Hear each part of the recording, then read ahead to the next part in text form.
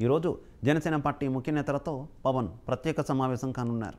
సాయంత్రం ఐదు గంటలకు కాకినాడలో జనసేన వారాహి విజయ యాత్ర పవన్ కళ్యాణ్ నిర్వహిస్తారు.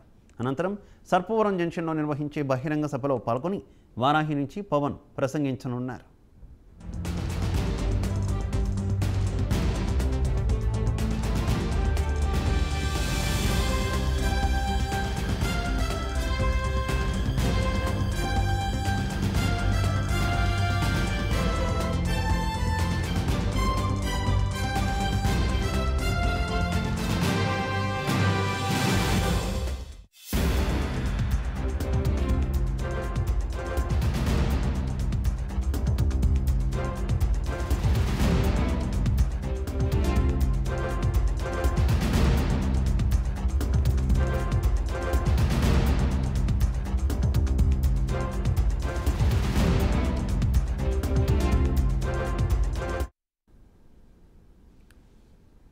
జనసేన అధినేత పవన్ కళ్యాణ్ వారాహి విజయయాత్ర కాకినాడ జిల్లాలో విజయవంతంగా కొనసాగుతుంది. ఇక ఈరోజు కాకినాడ రూరల్ నియోజకవర్గంలో జనసేన అధినేత పర్యటించనున్నారు.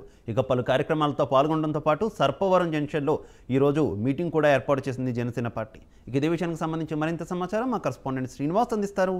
శ్రీనివాస్.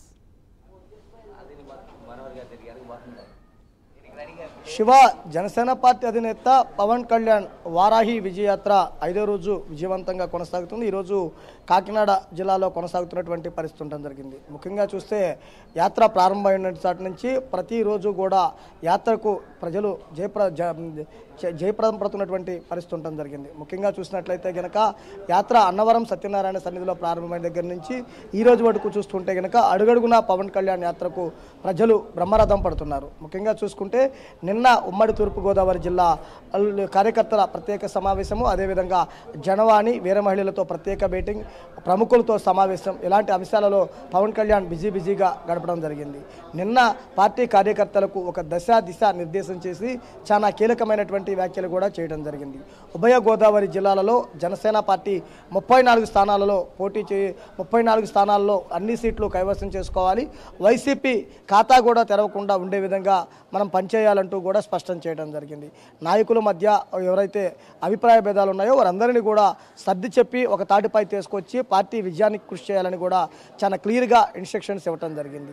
అయితే ముఖ్యంగా చూస్తే జనసేన పార్టీకి గుండెకాయ లాంటి గోదావరి జిల్లాలలో పవన్ కళ్యాణ్ చాలా ప్రత్యేకమైనటువంటి వ్యూహాలతోటి ముందుకెళ్తున్నారు.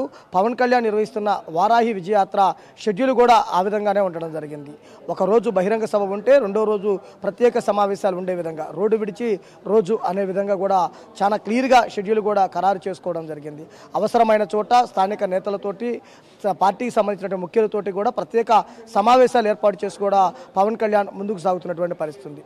కూడా ఈరోజు సాయంత్రం కాకినాడ సర్పవరం జంక్షన్లో జగన్ జనసేన పార్టీ అధినేత పవన్ కళ్యాణ్ బహిరంగ సభ ఉండడం జరిగింది. ఈ సభ రాష్ట్రంలో సంచలనంగా మారుతుందంటూ కూడా ఒక అభిప్రాయం ఉండడం జరిగింది. గతంలో కాకినాడకు సంబంధించినటువంటి ఎమ్మెల్యే ద్వారంపూడి చంద్రశేఖర్ రెడ్డి ఇటు జనసేన పార్టీ మధ్య ప్రత్యున్య యుద్ధం జరిగిన నేపథ్యంలో ఇక్కడ సభ నిర్వహిస్తున్న సమయంలో సభలో పవన్ కళ్యాణ్ ఎటువంటి కామెంట్స్ చేస్తాడు ఏ విధంగా ముందుకెళ్తాడు అనేది కూడా అంతా చర్చగా మారడం జరిగింది. ఒక విధంగా చూస్తే ఇప్పటి వరకు నిర్వహించినటువంటి బహిరంగ సభల్లో పవన్ ప్రతి ఒక్క సభకి ప్రతి ఒక్క కొత్త విషయాన్ని కూడా తెరపైకి తీసుకొచ్చి ప్రజలకు చెబుతున్నటువంటి పరిస్థితి ఉండడం జరిగింది.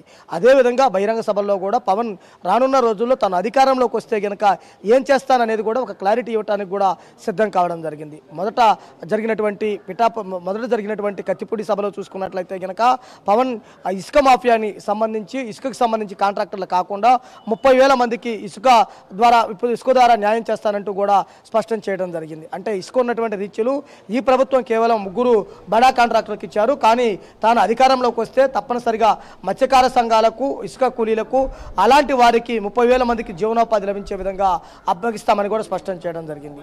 తర్వాత రెండు పత్తిపాడు బహిరంగ సభలో చూసుకున్నట్లయితే కనుక యువత యువతకు సంబంధించి ఏం చేస్తాను ఏంటి అనేది కూడా ఒక క్లారిటీ ఇవ్వటం జరిగింది. తమ అధికారంలోకి వస్తే కనుక యువతకు పెద్దపూట వేసి వాళ్ళు ఉద్యోగాల్లోనూ వ్యాపారాల్లోనూ వాళ్ళు పారిశ్రామికంగా ముందుకెళ్ళడానికి అవకాశం ఉండే విధంగా కూడా చాలా కీలకంగా వ్యవహరిస్తామని కూడా స్పష్టం చేయడం జరిగింది.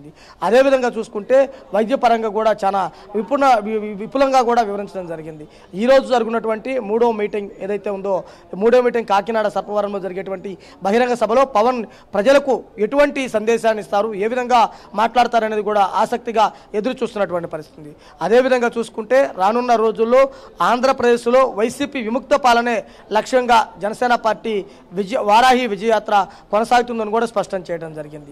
అంటే ముఖ్యంగా చూసుకుంటే రాజకీయ పార్టీలన్నీ కూడా రాష్ట్రంలో యావత్ ప్రజానికమంతా కూడా పవన్ కళ్యాణ్ వైపే చూస్తున్నటువంటి పరిస్థితి ఉంది పవన్ కళ్యాణ్ వారాహి యాత్ర ఎలా జరుగుతుంది? వారాహి యాత్రలో ఎలా ఉంటుంది? వారాహి యాత్రలో పవన్ కళ్యాణ్ ఏం మాట్లాడుతున్నారు? పవన్ కళ్యాణ్ అధికార పార్టీ మీద ఎటువంటి విమర్శలు చేస్తున్నారు? రానున్న రోజుల్లో ప్రజలకు ఎటువంటి భరోసా ఇస్తున్నారు? అనే విషయాల మీద కూడా ప్రతి ఒక్కరూ కీలకంగా చర్చించుకునే విధంగా ఉండడం జరిగింది. అయితే ముఖ్యంగా చూస్తే ఉమ్మడి తూర్పుగోదావరి జిల్లా నుంచి ప్రారంభమైనటువంటి వారాహి యాత్ర రాష్ట్రమంతా ఇదే విధంగా కొనసాగితే రానున్న రోజుల్లో తప్పనిసరిగా జనసేన పార్టీ అధికారంలోకి వస్తుందని జనసేన పార్టీ కార్యకర్తలు నాయకులు అభిమానులంతా కూడా ఆనందం వ్యక్తం చేస్తున్నటువంటి పరిస్థితి. తప్పనిసరిగా పవన్ కళ్యాణ్ రానున్న రోజుల్లో ఇదే వేవును కొనసాగించాలని కూడా ప్రతి ఒక్కరూ కోరుకుంటున్నారు. Okay. Okay Srinivas. Thank you right ఇవి బులెటిన్ అప్డేట్స్ కీప్ వాచింగ్